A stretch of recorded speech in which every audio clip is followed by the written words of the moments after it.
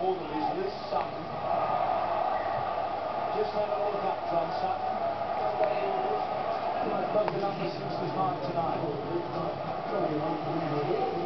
was thinking going back on a broken hand. He's handled four tries last week for South Sydney against